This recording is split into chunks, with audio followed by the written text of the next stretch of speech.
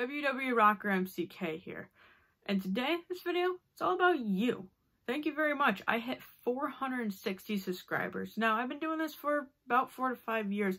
That doesn't seem like much. A lot of people have in the thousands, but to me, that's a lot of subscribers. I'm very thankful for every single one of you for subscribing to my channel and watching my videos.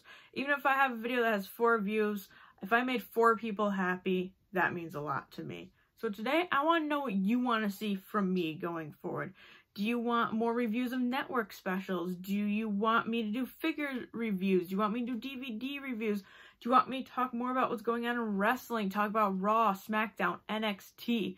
I want to know what you want from this channel, and I will deliver it as much as I can. I will be doing a Q&A so have your questions down below for me. As soon as I hit 10 questions, that seems to be the max I get, I will do the Q&A uh, video and upload it for you guys. But yeah, I just want to know what you want to see from this channel. This is my way of saying thank you for 460 subscribers. Make sure to like this video and subscribe.